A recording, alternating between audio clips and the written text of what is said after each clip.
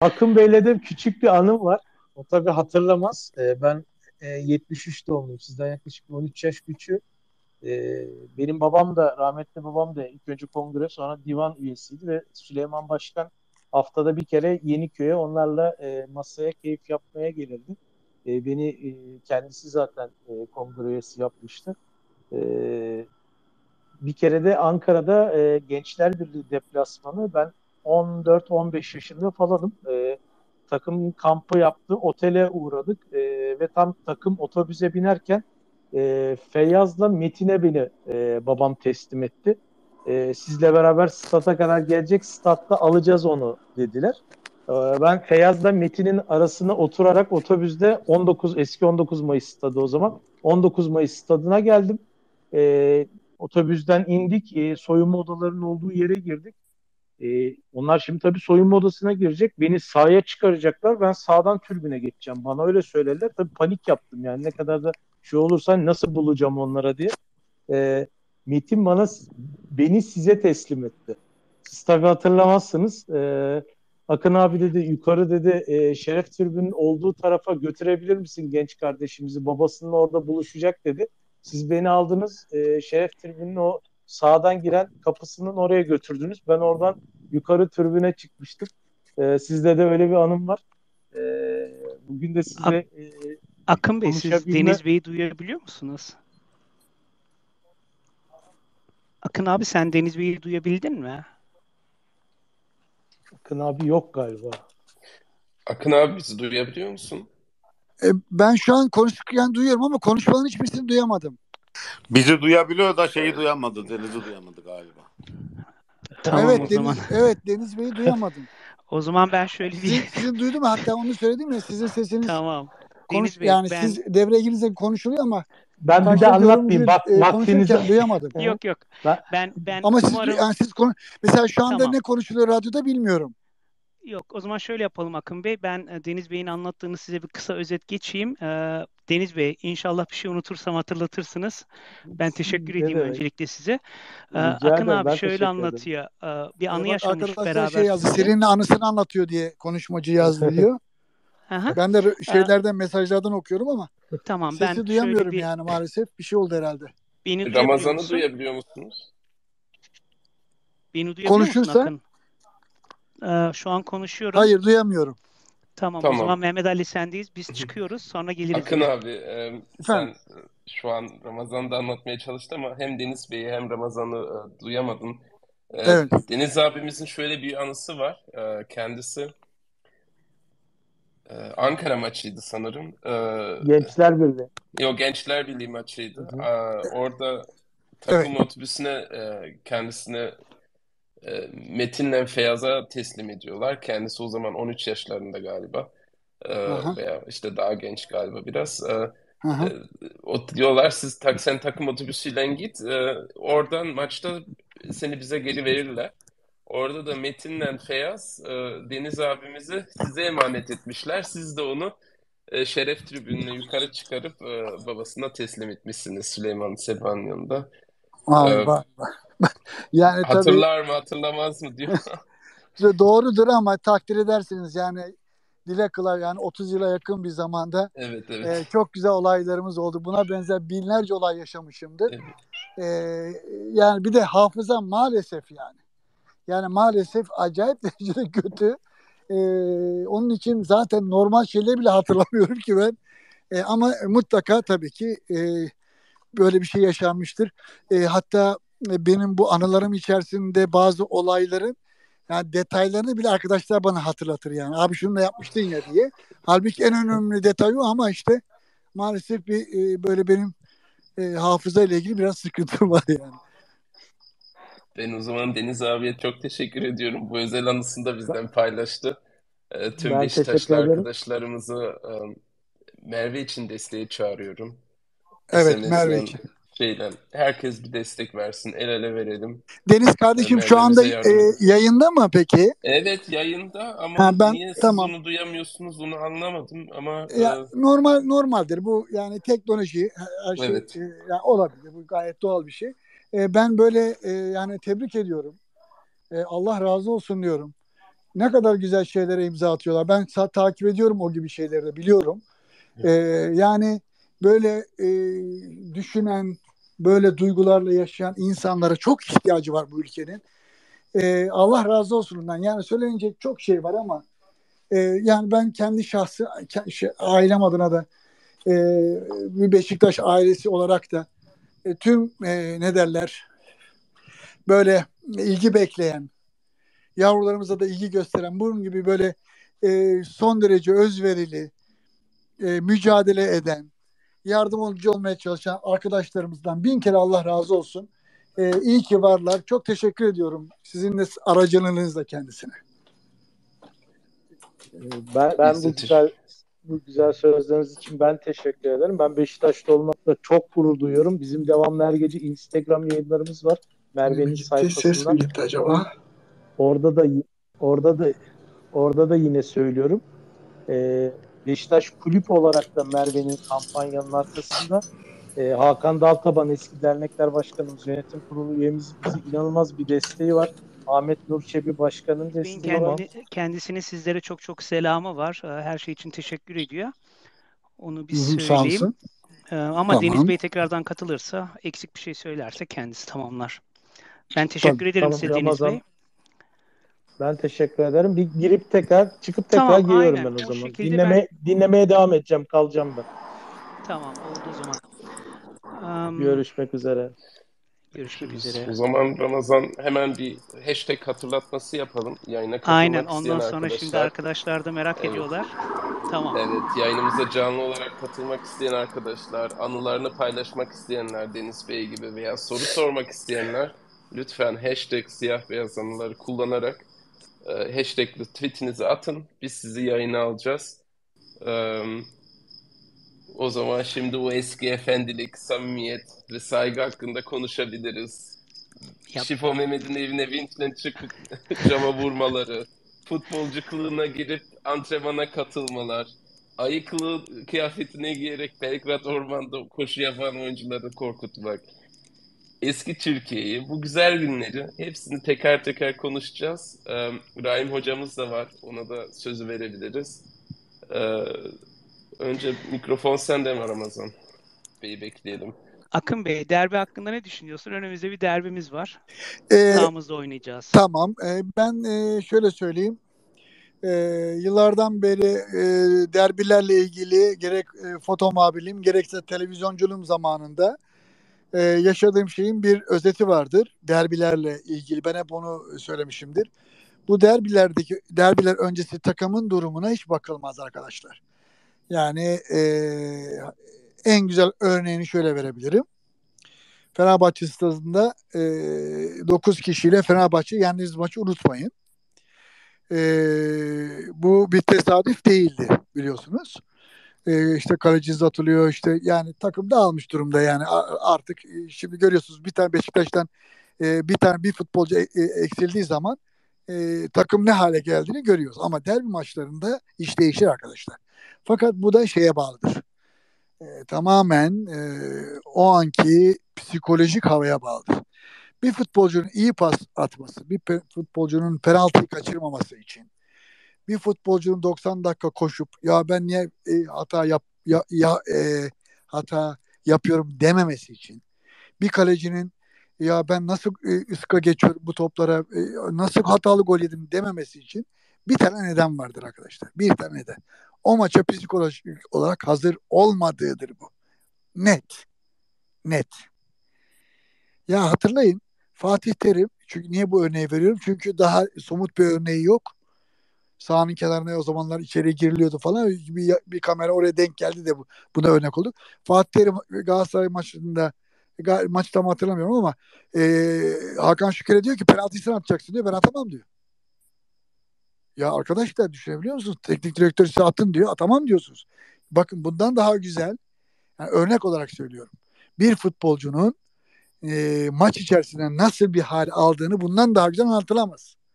Dolayısıyla lafı şuraya getireceğim. Şimdi Beşiktaş çok iyi gitti. Liderliği liderliği ele geçirdi falan. Daha sonra çok saçma sapan e, maçlarla işte 3-0 öndesin 3-3 bitiyorsun falan. Ve tabii ki her zaman olduğu gibi tabii ki yine çünkü her zaman olduğu gibi bunu diyeceğim. Belki e, Fenerbahçe Galatasaraylı arkadaşlar bana kızacaklar ama e, onlar bizim acımızı çok net bilmezler. Hakemlerin e, de katkılarıyla e, her maçta olduğu gibi mutlaka hata yapan hakemler.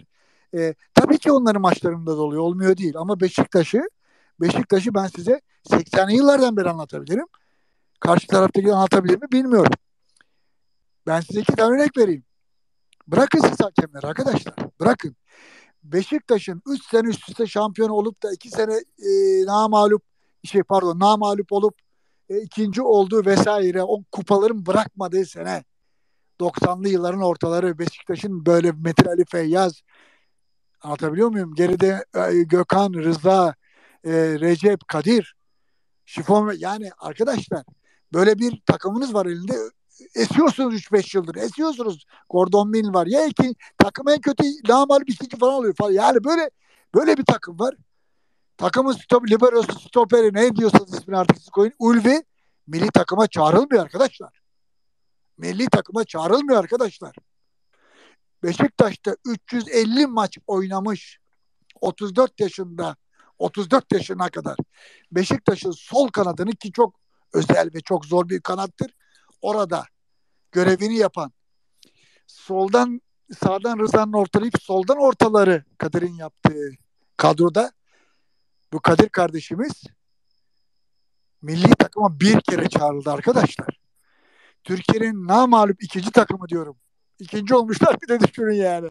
Hani neler çekti bu Beşiktaş neler. Hakemin gol atmalarından tut voleybolcu penaltılarına kadar hatırlarsanız onlara girmeyeceğim. Şunu söyleyeceğim yani ya esiyor diyorum arkadaşlar takım ya. Ya esiyor esiyor esiyor diyorum. Eğer ben bugün beni biraz arkadaşlar Akın olarak tanıyorlarsa Beşiktaş'ın o, senenin, o, o, o dönemdeki başarılarının büyük payı vardır. Büyük payı vardır. Çünkü neden? Beşiktaş iyi, Beşiktaş şampiyon, Beşiktaş kupaları lambur lumbur 3-5 sene 5 senede dünyayı götürüyor. E sen de orada tabii ki bir güzellik e, e, ne derler hani bu güzelliğin karşısında sen de mikrofonu aldığın zaman coşuyorsun kardeşim. Neler yapmadım işte ne bileyim işte dediğiniz gibi şifon evine vinçle girdim ayı kılığında davumu kovaladım vesaire mesela ama niye yaptık bunları? Çünkü takımda başarı vardı arkadaşlar. E başarı var milli takıma e, e, milli takımın beyni libero stoper o zaman libero stoper biliyorsunuz ikisi oyna. Bunları çağırmıyorsunuz. Ya böyle bir şey olabilir mi? Yani neyse ben yine yaramazı delmeyeyim de deşmeyeyim de yani e, şimdi böyle bir atmosferde Beşiktaş'ın e, üzerindeki e, baskılar zaten ezelden beri olduğu için e, bu e, derbi maçı öncesine kadar Beşiktaş'ta böyle dediğimiz gibi ya görüyorsun işte adam yere kafayı koyuyor yere. Yani ayakla vurulacak topa kafayla vuruyor. Sağ eline çarpıyor, sol eline çarpıyor. İki defa penaltı var.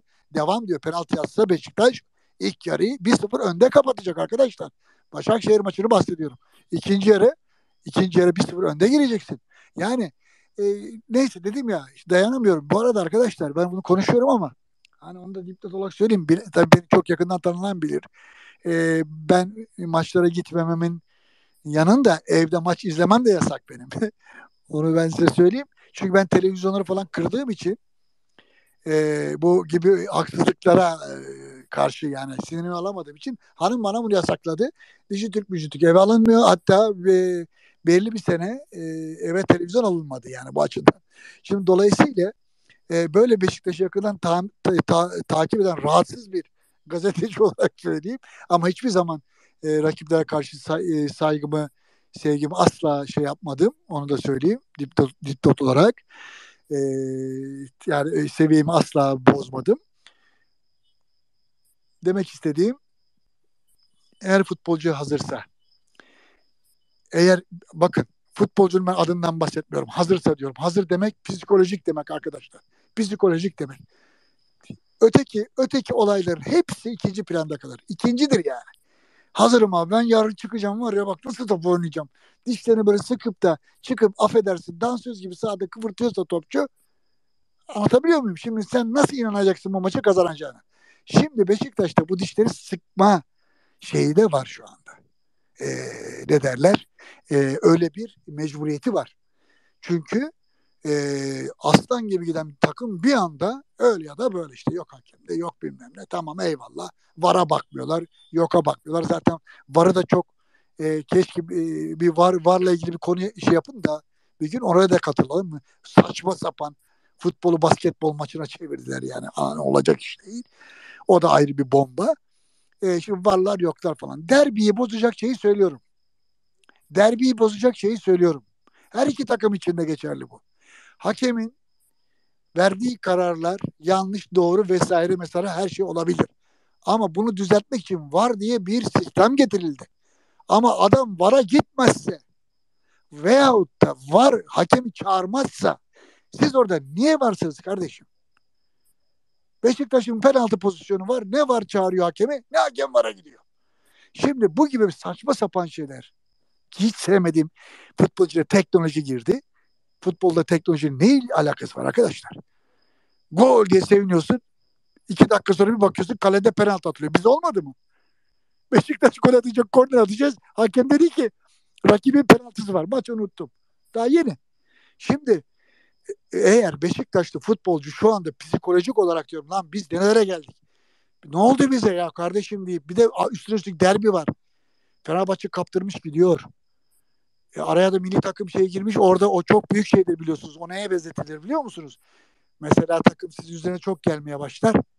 Siz de başlarsınız yere yatmaya yalandan böyle sakatlık numaraları ki rakip çok iyi geliyor onun psikolojisini bozmak için. Şimdi bu arada da Fenerbahçe'nin böyle kaptırdığı bir e, ne derler e, dö dönemde e, araya milli maçın girmesi Beşiktaş'ın psikolojik olarak maça hazırlanmasında daha avantajlı. Fenerbahçe şöyle diyecek çünkü. Ulan biz bıraktığımız yerden devam edebilecek miyiz? Ama Beşiktaş'ın böyle bir şansı yok. Beşiktaş diyecek demeli demeli ki ya biz taraftarı üzdük. Biz takımı nereye getirdik? Ne oluyor bize deyip bu bu e, şeyden de istifade ederek anlatabiliyor muyum? E, artık sakatsan sakatlığını geçirmek için zamanın var vesaire. Psikolojik sen öyle her türlü her türlü avantaj senden tarafa. Onun için sahaya çıkan takım psikolojik yönden hazırsa bu iş hiçbir şekilde hiçbir şekilde kötüye gitmez. Ben çok gördüm arkadaşlar. Çok gördüm diyorum size. Onun için ben bakacağım. Onu da nasıl anlıyorum? Çok maç dediğim gibi izlemiyorum çünkü çok sinirli seyrediyorum.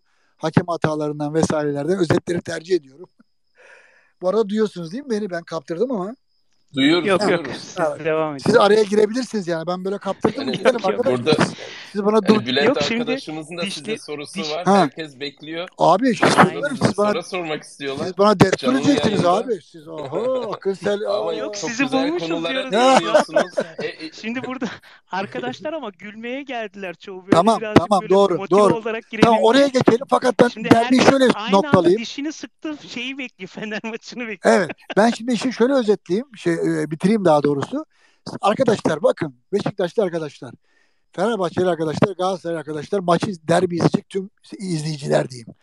Eğer maça çıktığı zaman bakın futbolculara kim daha çok koşuyor, kim daha sert topa giriyor, kim daha sert kafaya çıkıyor, kim daha o topu istediğini anlarsınız. Anlarsınız diyorum size. Ona bakın. İşin ilk 15 dakikasında taş çatlasın 15 dakikası. 10 dakikada çözersiniz de 15 dakikasında belli eder.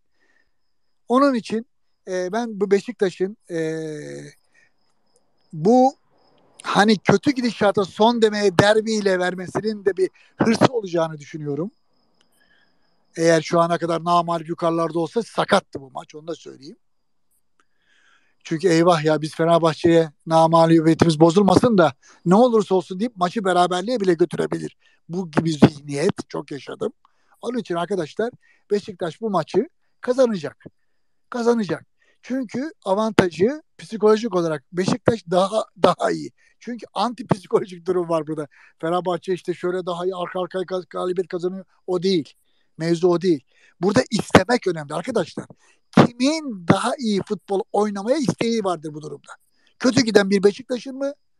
İyi top oynayan veyahut da işte ne derler e, son haftalarda e, takımını işte mağlubiyetlerden uzak ne adını siz koyun götüren bir Fenerbahçe mi yani var diyeceğiz. Şimdi bunu ortaya koyduğunuz zaman ben direkt Beşiktaş diyeceğim. Bunu Beşiktaş, bunu A veya B takımı da diyebilirsiniz. Beşiktaş olması da önemli değil. Ama biliyorsunuz ki Beşiktaş tarafta Beşiktaş tribününe Beşiktaş'ın stadan çıktığınız zaman bir fark yani ah, ah şimdi beni nerelere götüreceksiniz. Ben fazla uzatmayayım. Beşiktaş e, psikolojik olarak bu maçı kazanacaktır. İnşallah teknoloji e, işin içine etmez. İnşallah.